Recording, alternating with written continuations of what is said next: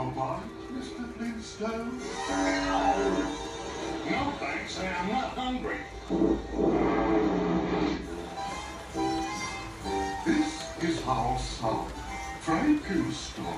Stubby, say hello to Mrs. Flintstone. Hello. Hello, Stubby. What are you doing with that shovel? Digging grapes in the cellar. Digging grapes in the cellar? And it keeps him in the house, you know. We were talking about the Frankenstones. And I said I like them. And I don't. So you're gonna have to decide who you're gonna be friends with. I don't like nobody to tell me who to like and who not to like. And I don't like people playing low-down tricks on their neighbors. So I'm choosing the Frankenstones. Well, you can have them and don't ever speak to me again.